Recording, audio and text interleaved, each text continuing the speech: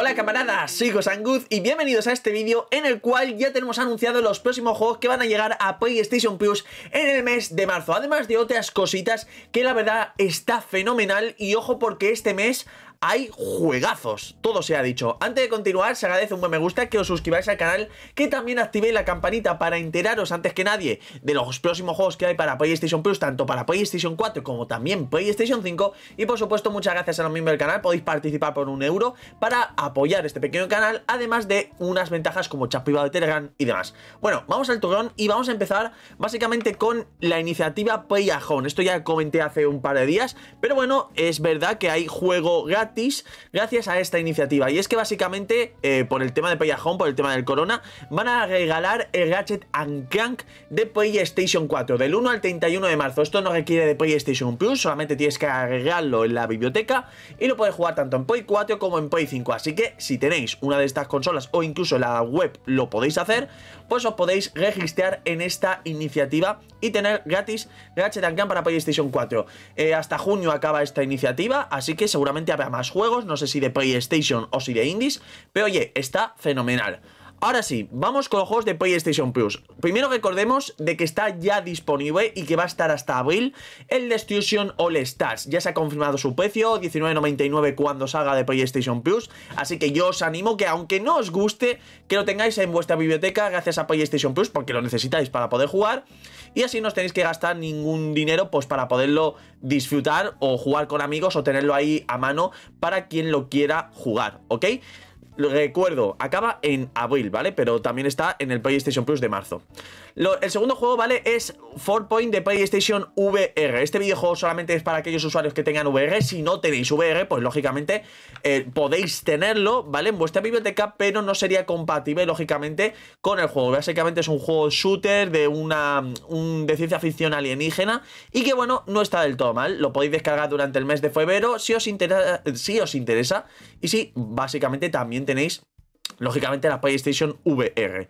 Pasamos a otro videojuego que es Maquette, ¿vale? Que es un videojuego un poquito de rompecabezas en primera persona, me recuerda un poco a The Witness, en el cual, pues eso, tienes que avanzar y resolver ciertos puzzles para continuar en tu aventura. Un juego en cuanto a gráficos no está del todo mal, es bonito y también lo podéis descargar en el PlayStation Plus del mes de marzo, tanto para PlayStation 4 como también por retrocompatibilidad para PlayStation 5. Pasamos aquí a, eh, Remnants, creo que se llama, eh, From the Ashes, ¿vale? Que este se anunció en la Gamescom de 2019, como aquí bien pone. Y este juego es exclusivo solo para PlayStation 4 eh, y también retrocompatibilidad con PlayStation 5, ¿vale? Este juego pues es un poco también shooter, con la temática está en tercera persona, como podéis estar viendo no tiene mala pinta y lo tenéis para descargar y para añadir en la biblioteca una vez empieza el PlayStation Plus del mes de marzo. Por cierto, Maquette es solo para PlayStation 5, ¿vale? Que ha habido un error, ¿vale? Para, para que veáis, ¿vale? Solo para PlayStation 5. Y ojo porque aquí viene el bombazo. Ojo, ¿eh? Que esto yo no me lo esperaba.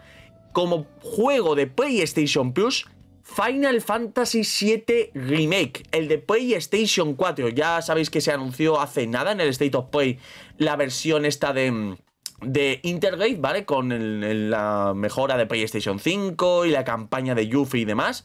Pero en PlayStation Plus podemos tener la versión de PlayStation 4 de Final Fantasy VII Remake. Lo podéis jugar tanto en PlayStation 4 como también por retrocompatibilidad en PlayStation 5. Un juegazo, está fenomenal y sorprende y me alegro un montón que los usuarios de este servicio de PlayStation Plus tengamos un auténtico juegazo un año antes de su lanzamiento. La verdad, fenomenal, me alegro un montón y os animo a que lo descarguéis si no tuvisteis oportunidad de comprarlo.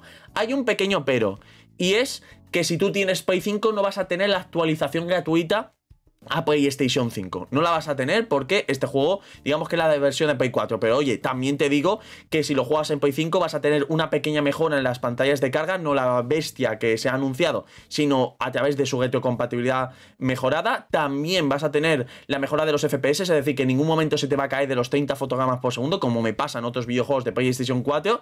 Y que, repito, es un juego que lo puedes tener gratis con PlayStation Plus. Así que la verdad, fenomenal que den este Final Fantasy VII Remake. Una sorpresa y es de agradecer tanto para los usuarios del servicio como también para Square eh, el haber propuesto este juego en su, en su catálogo. Bueno, pues aquí veis, digamos, todos los juegos. Recordad que en unos días se acaba la promoción de los juegos que están actualmente. Recordad que está ahora Control Ultimate Edition, en el mismo momento en el que estoy haciendo este vídeo. En breve se va a acabar, así que os recomiendo que lo descarguéis. Y además otros videojuegos que ahora mismo os comenté, como el Destruction All Stars y otros, que no tienen mala pinta. Así que os animo a que lo descarguéis, también el Concrete Genie. Os animo a que lo descarguéis y estad preparados porque se vienen juegos importantes para el PlayStation Plus del mes de marzo. Ya con todo está todo contado. Decidme vuestra opinión, si os gusta, cuál es el juego favorito de este PlayStation Plus. La verdad, yo tengo que deciros, eh, es muy fácil. Final Fantasy VII Remake es el mejor juego de este mes. Y os animo a que lo descarguéis todos, pero sobre todo que juguéis a Final Fantasy VII Remake porque es muy, muy bueno. Aun con sus peros, es un candidato a juego del año del año pasado. Y está fenomenal, así que nada. Dejad un me gusta, recordad que hacemos directos en Twitch, os podéis suscribir para que todos los meses tengáis esta sección, a ver si la apoyamos a tope. Y nada, nos vemos en el próximo vídeo. Muchas gracias y hasta luego.